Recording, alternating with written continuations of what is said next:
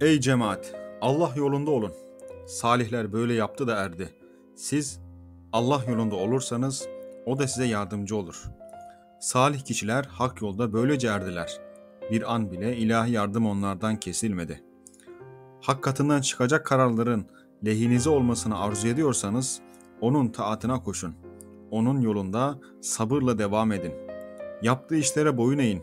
Hakkın hükmü ne olursa olsun razı olun.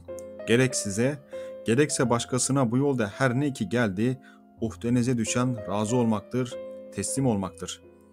Allah yolcuları dünyayı bir yana attılar. Kısmetlerini alırken takva eliyle aldılar. Bu arada vera yani şüpheleri bırakma halini de bir yana atmadılar. Bu hali benliklerine sindirdikten sonra öbür alemi istediler. Bu işleri bitince ahiret yolculuğuna hazırlık yapmaya koyuldular. Nefislerine karşı isyan bayrağını çektiler. Yaratanları önünde boynu bükük ve taat ehli oldular. Onların vazifesi önce nefislerini yola getirmek, sonra başkalarını.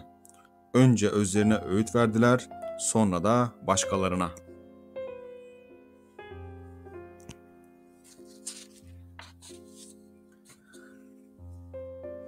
Ey evlat! Önce nefsine öğüt ver, onu yola getir. Sonra da başkalarını. Sana nefsin özelliklerini bulmak başlıca vazifedir. Bunu yapmadan başkasına gitme. Senin henüz ıslaha muhtaç hallerin vardır. Bunu sen de biliyorsun. Yazıktır. Bunu bildiğin halde gayrın ıslahı sana nice nasip olur. Gözlerin bir adım öteyi görmüyor, körleri neyinle yola getirmek sevdasındasın.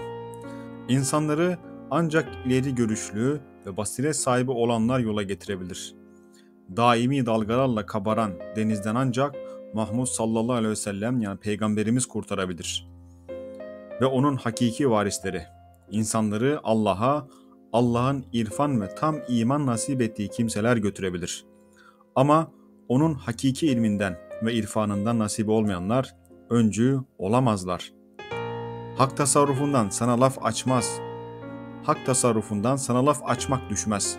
Sana gereken onu sevmek ve ondan gayri kimseden korkmamak ve bütün işleri onun uğruna görmek. Bunlar kalple olur. Dil gürültüsüne getirip söze boğmakla olmaz.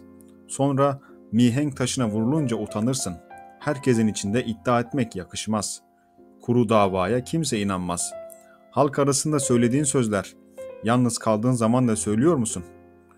Aynı duyguları tek başına kaldığın zaman da duyman, ka, duyman kabil oluyor mu? İşte en önemli iş bu oluyorsa mesele yok. Kapı önünde tevhid, içeri girince de şirk. Yakışır mı? Bu nifak alametidir. İçi bozuk olmanın ta kendisidir. Acırım sana. Sözün ittika yani kötülükten sakınmadan açılıyor, kalbin ise fitne çıkarmaya meyyal. Şükrü dilinden bıraktığın yok ama kalbin daima